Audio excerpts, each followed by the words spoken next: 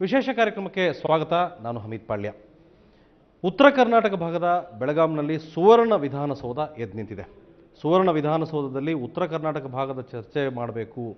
ಈ ಭಾಗದ ಜನರಿಗೆ ಅನೇಕ ಅಭಿವೃದ್ಧಿ ಕಾರ್ಯಗಳಾಗಬೇಕು ಅದಕ್ಕೆ ಇಲ್ಲೇ ಚರ್ಚೆ ಆಗಬೇಕು ಅನ್ನೋದು ಸರ್ಕಾರದ ಒಂದು ಉದ್ದೇಶ. ಬೇರೆ ಬೇರೆ ಕಾರಣಗಳಿಂದ ಇಲ್ಲೊಂದು ಸುವರ್ಣ ವಿಧಾನಸೌಧ ಆಯಿತು. ಸುವರ್ಣ ವಿಧಾನಸೌಧ ಆದ ನಂತರ ಚಳಿಗಾಲದ ಅಧಿವೇಶನ ಈಗ ಆರಂಭವಾಗಿದೆ. ಮೂರು ದಿನಗಳ ಕಲಾಪ, ವ್ಯರ್ಥ ಪ್ರಲಾಪ ಆಯಿತು. ಈ ಕಲಾಪದಿಂದ ಈ ಭಾಗದ ಜನರಿಗೆ ಏನಾದರೂ ಅನುಕೂಲ ಆಯಿತಾ? ಏನಾದರೂ ಚರ್ಚೆಗಳಾಯ್ತಾ? ಆಗಬೇಕಾದ ಚರ್ಚೆಗಳು ಏನೇನಿದೆ? ಇದೆಲ್ಲದರ ಬಗ್ಗೆ ಮಾತಾಡೋದಕ್ಕೆ ವಿರೋಧ ಪಕ್ಷದ ನಾಯಕ ಸಿದ್ದರಾಮಯ್ಯನವರು ನಮ್ಮ ಜೊತೆ ಇದ್ದಾರೆ. ಅವ್ರ ಜೊತೆ ಮಾಡೋಣ. ಸಿದ್ದರಾಮಯ್ಯನವರ ಕಾರ್ಯಕ್ರಮಕ್ಕೆ ಸ್ವಾಗತ.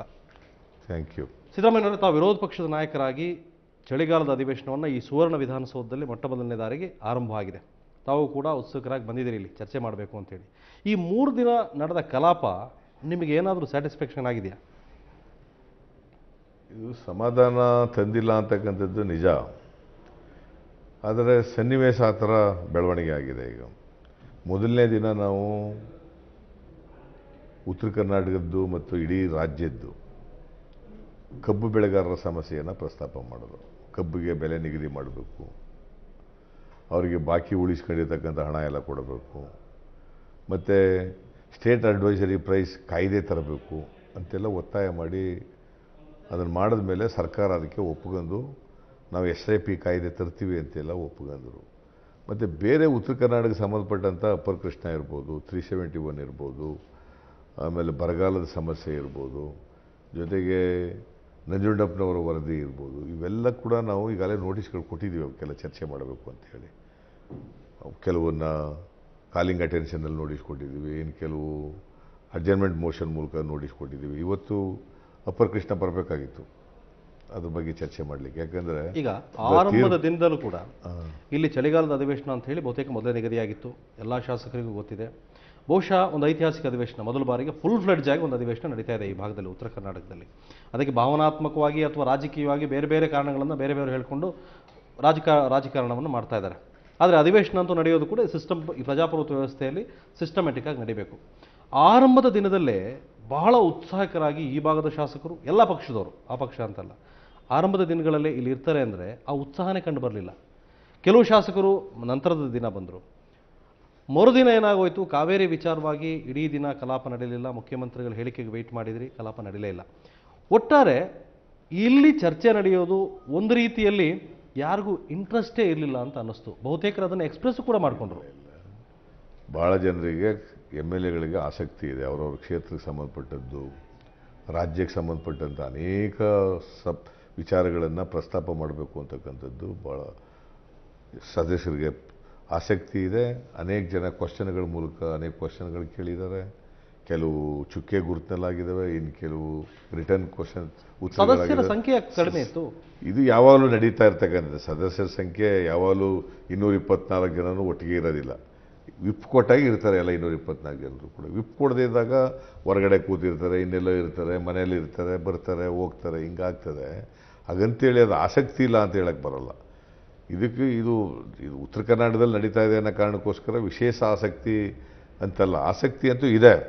ನನಗೆ ಮೊನ್ನೆ ನಮ್ಮ ಸಿ ಎಲ್ ಪಿ ಮೀಟಿಂಗ್ನಲ್ಲಿ ಮಾತಾಡೋಕ್ಕೆ ನಮಗೆ ಸಮಯ ಇರಲಿಲ್ಲ ಎಲ್ಲ ಎಂ ಎಲ್ ಎಗಳಿಗೆ. ಅಷ್ಟೊಂದು ಮಟ್ಟಿಗೆ ನಾವು ಸಮಸ್ಯೆಗಳು ಪ್ರಸ್ತಾಪ ಮಾಡ್ಬೇಕು ನಿಮ್ಮ ಕಾಲದಿಂದ ನೋಡ್ಕೊಂಡೇ ಬರ್ತಾ ಇದೆ. ಇಷ್ಟೇ ಕೋರಂ ಇರ್ತಿತ್ತಾ? ಅಥವಾ ಇಷ್ಟೇ ಈ ಚರ್ಚೆಗಳು?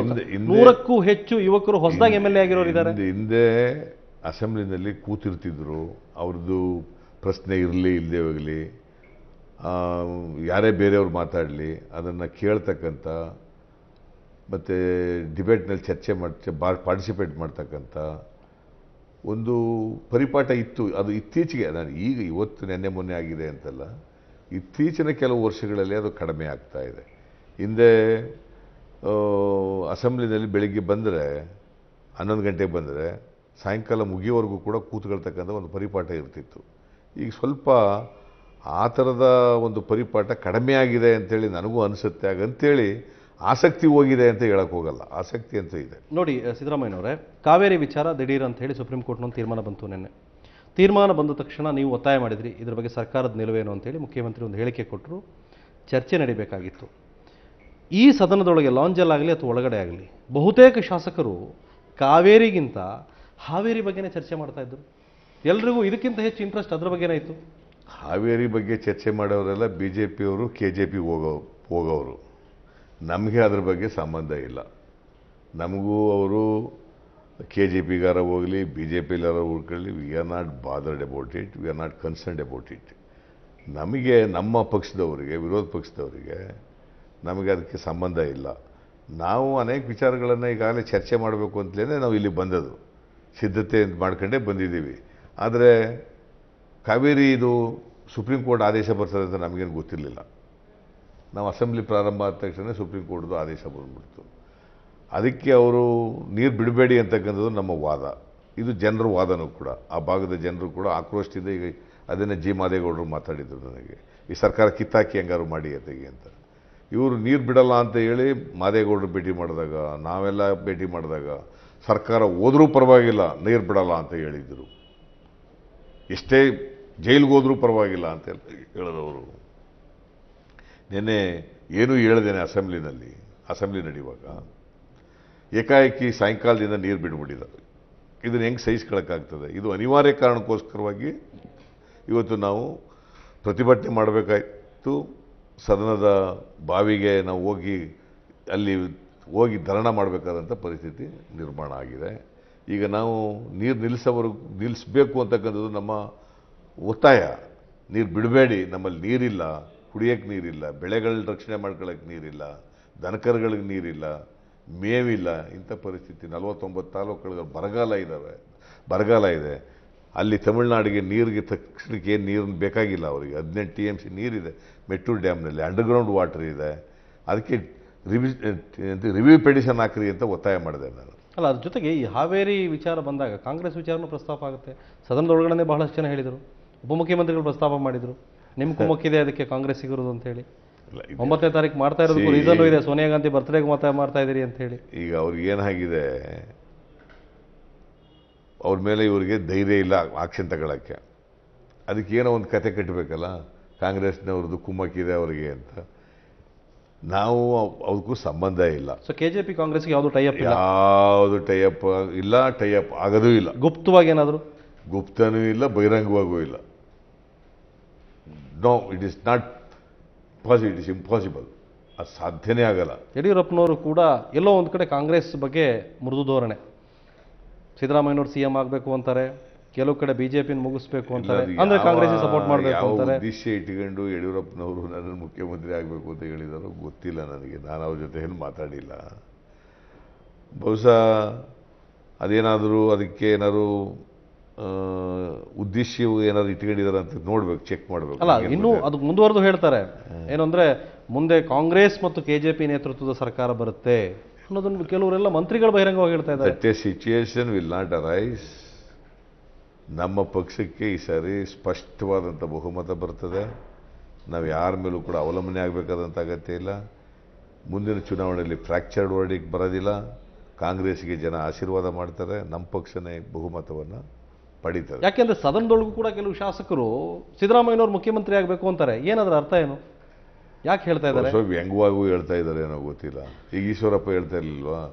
ನೀವು ಯಾವ ಕಾರಣಕ್ಕೂ ಚೀಫ್ ಮಿನಿಸ್ಟರ್ ಆಗಲ್ಲ ಅಂತ. ಅದನ್ನೂ ಹೇಳ್ತಾ ಇದ್ದಾರಲ್ಲ. ಈಶ್ವರಪ್ಪ ಹೇಳಿದ್ರು ಅಸೆಂಬ್ಲಿ ಒಳಗಡೆ. ಸಿದ್ದರಾಮಯ್ಯನವರೇ ನೀವು ಯಾವ ಕಾರಣಕ್ಕೂ ನೀವು ಎಷ್ಟೇ ನೀವು ಹೋರಾಟ ಮಾಡಿದ್ರು ಕೂಡ ನಿಮ್ಮನ್ನು ಚೀಫ್ ಮಿನಿಸ್ಟರ್ ಮಾಡಲ್ಲ ಕಾಂಗ್ರೆಸ್ನವರು. ನೀವು ಯಾವ ಕಾಲಕ್ಕೂ ಚೀಫ್ ಮಿನಿಸ್ಟ್ರೇ ಆಗೋದಿಲ್ಲ ಅಂತ ಹೇಳ್ತಾ ಇದ್ದಾರೆ. ಆ ಥರನೂ ಹೇಳ್ತಾರಲ್ಲ. ಹಿಂಗೆ ಕೆಲವರು ಆಗ್ತ ಆಗ್- ಆಗ್ತೀರಿ ಅಂತಾರೆ ಇನ್ನು ಕೆಲವರು ಆಗಲ್ಲ ಅಂತ ಹೇಳ್ತಾರೆ. ಈ ಸಮಾವೇಶ ಇವತ್ತಿನ ಈ ಸದನದ ಸಮಾವೇಶ ನಡೀತಾ ಇದೆಯಲ್ಲ ಇದು ಉತ್ತರ ಕರ್ನಾಟಕ ಭಾಗದಲ್ಲಿ ಏನೋ ನಿರ್ಧಾರ ಆಗಿದೆ ಆಗಬೇಕು ಅನ್ನೋದು ಅಷ್ಟೇ ಆಗ್ತಾ ಇದೆ. ಅದ್ರ ಬಿಟ್ಟರೆ ಎಲ್ಲವೂ ಕಾಟಾಚಾರದ ವರ್ತನೆ ಅಂತ ಎಲ್ಲೂ ಅನ್ನಿಸ್ತಿಲ್ಲ ನಿಮಗೆ? ಸರ್ಕಾರಕ್ಕೆ ರಾಜಕೀಯ ಇಚ್ಛಾಶಕ್ತಿ ಇರಬೇಕು. ಇನ್ನು ಕೆಲವರು ಹೇಳ್ತಾರೆ ಹಾವೇರಿ ಸಮಾವೇಶ ತಪ್ಪಿಸೋದಕ್ಕೋಸ್ಕರ ಇಲ್ಲಿ ಸದನ ನಡೀತಾ ಇದೆ ಅನ್ನೋ ಇಲ್ಲ ಇದು ಸದನ ದೊಡ್ಡ ಬಿಲ್ಡಿಂಗೇ ಕಟ್ಬಿಟ್ಟಿದ್ದಾರೆ, ನಾಲ್ಕು ಕೋಟಿ ಖರ್ಚು ಮಾಡಿ. ಇದರ ಅಗತ್ಯ ಇದೆಯೋ ಇಲ್ವೋ ಅಂತಕ್ಕಂಥದ್ದು ಬೇರೆ ವಿಚಾರ. ಆದರೆ ನಾಲ್ಕುನೂರು ಕೋಟಿ ಇಲ್ಲಿ ಖರ್ಚು ಮಾಡಿದ ಮೇಲೆ ಇಲ್ಲಿ ನಾಗಪುರದಲ್ಲಿ ಏನು ಮಹಾರಾಷ್ಟ್ರ ರಾಜ್ಯದಲ್ಲಿ ನಡೀತದೆ ಆ ರೀತಿಯಲ್ಲಿ ನಡೀಬೇಕು. ಕನಿಷ್ಠ ಈ ಚಳಿಗಾಲದ ಅಧಿವೇಶನನ ಇಪ್ಪತ್ತು ದಿನಗಳು, ಇಪ್ಪತ್ತರಿಂದ ಒಂದು ತಿಂಗಳು ನಡೆಸಬೇಕು. ಈ ಭಾಗದ ಸಮಸ್ಯೆಗಳನ್ನೆಲ್ಲ ಚರ್ಚೆ ಮಾಡಬೇಕು. ಅವಕ್ಕೆ ಪರಿಹಾರ ಕೊಡ್ತಕ್ಕಂಥದ್ದಾಗಬೇಕು.